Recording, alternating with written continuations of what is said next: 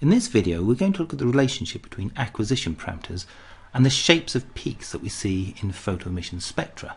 The shapes of peaks are important because chemical state analysis relies on the fitting of peak shapes with synthetic line shapes.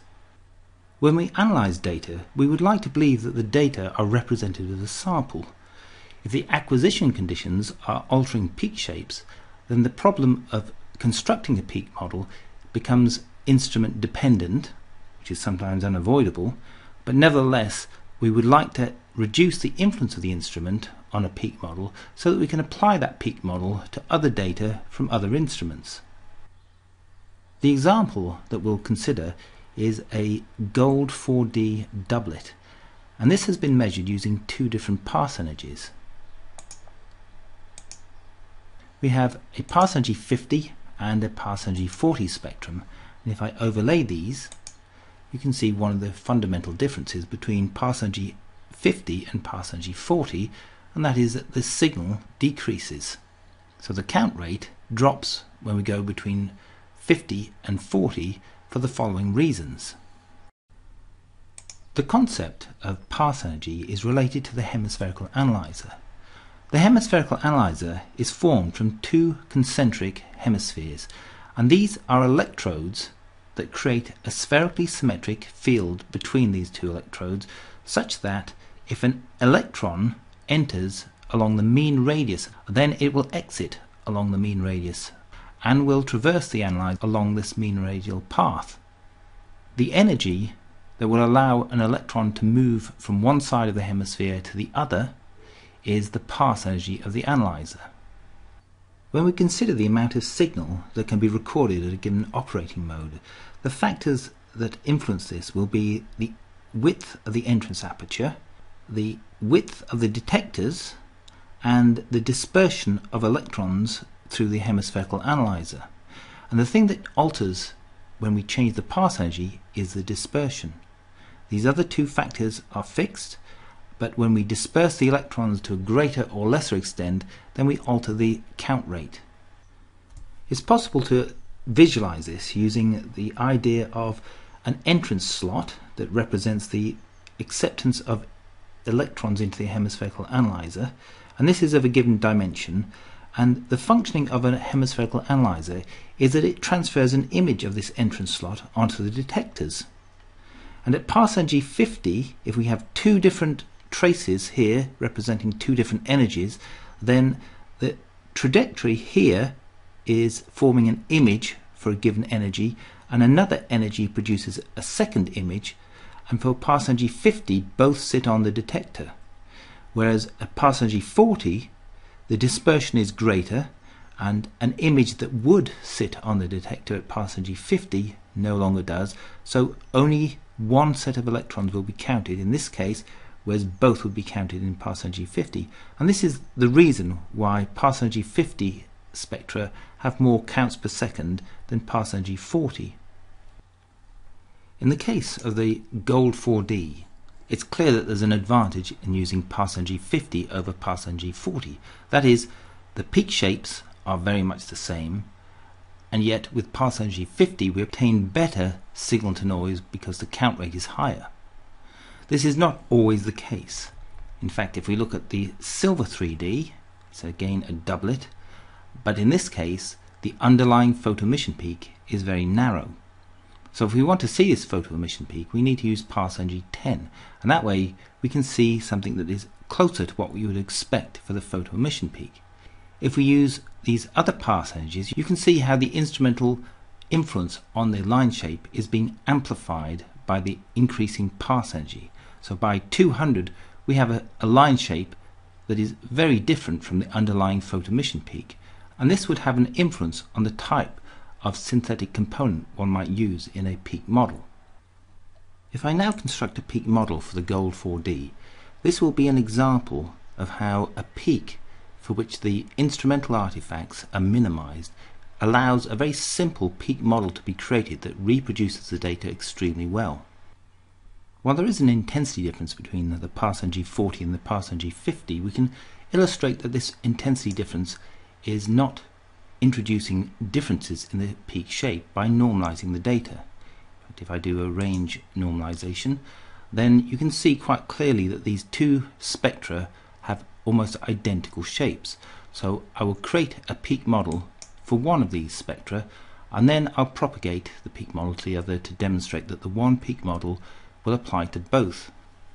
A peak model is created using the quantification parameters dialog window and on the regions property page a background to data is created which is traditionally either a Tougaard or perhaps a Shirley.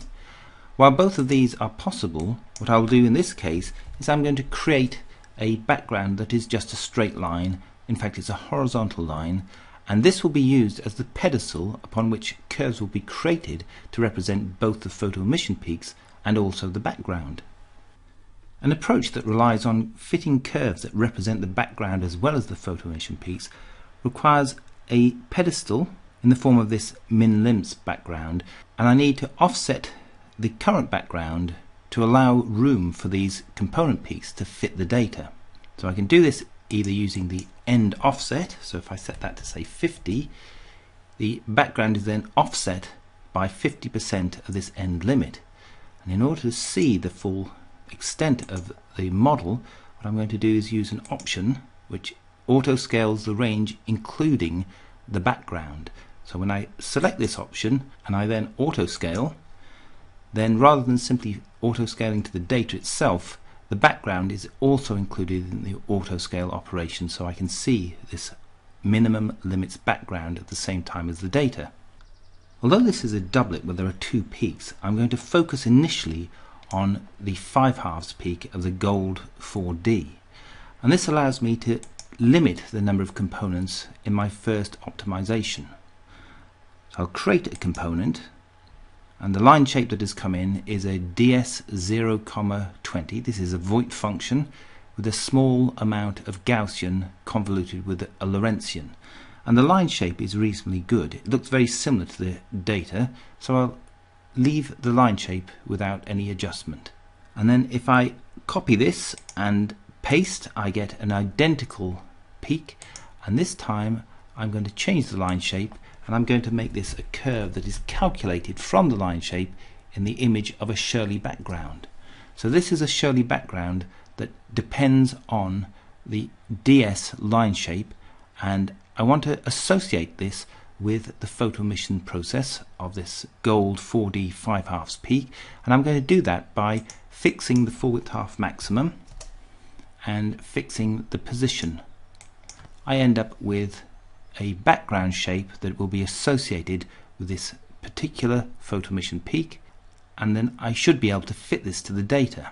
However, there is an offset that has been intentionally introduced by offsetting this min limits background which I need to allow to adjust in order to fit these two shapes to the data. So I'm going to introduce another shape and this one I'm going to enter TP and press return and what this does is it introduces a trapezium. In this case it's a rectangle, but I'm going to make this a trapezium with a difference in the left and the right hand side of the height of the trapezium so that allows an inclined slope if it is required. If at this point I now press the Fit Components button, then all three of these components will be fitted to the data. And as it stands the fit isn't particularly good. And when I look at the display it indicates I have a red parameter for the area of the Shirley background. And when fitted to data a curve that represents a background has a much greater area. And so I need to give it more room in order to fit these data. When I press fit again then the component fits nicely with a, a Shirley background and a trapezium representing an inclined slope, which is typical of what you'd expect for a signal that is arriving beneath this peak as a consequence of inelastic scattering from the gold 4F. To complete the peak model, what I need to do is include both parts of the doublet. So if I extend the background and then go back to the components property page, copy the component that represents the photo emission peak and because of these constraints that are applied to the Shirley background that are associated with this peak When I copy the component, it will also copy the Shirley background. So when I say paste, I end up with a new set of components and these can be used to represent this gold 4D 3 halves provided I move the component and I'll need to allow the space to move this component from one side to the other. So I've just expanded the position constraints and I hold the control key down and then point at the component peak and then slide. And I end up with two components representing photo emission peaks both with Shirley backgrounds associated with these peaks. So when I say fit I end up with a fit that is to both parts of this doublet and a residual that is certainly acceptable in terms of the residual standard deviation and also how uniform the residual plot appears. That is the difference between the data and the sum of these components. The residual plot in this case is also normalized with respect to the counts per bin. This is assuming pulse counted data and the uncertainty in each data bin is the square root of the counts per bin, so the residual is normalized with respect to one standard deviation within the signal. This certainly helps to improve the uniformity of the plot, but actually in this case, because the peak above background is not significantly different, if we were to turn off the normalization, we still have a plot that is very uniform. This is really quite a good fit to the data. If we now propagate from the pass energy 40 to the pass energy 50,